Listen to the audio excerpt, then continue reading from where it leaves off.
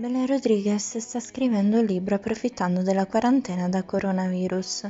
La confessione è arrivata dal salotto di Verissimo il programma di Silvia Toffanin sta mandando in onda storie vecchie ma anche alcune nuove, ovvero dei video che VIP inviano alla redazione.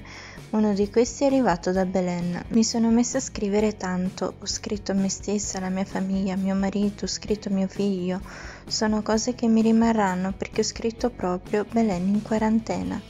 Parole che lasciano facilmente immaginare che la showgirl argentina stia pensando di raccogliere quanto scritto in un libro. Chissà, magari potrebbe ripercorrere il successo letterario della rivale Giulia Dell'Ellis.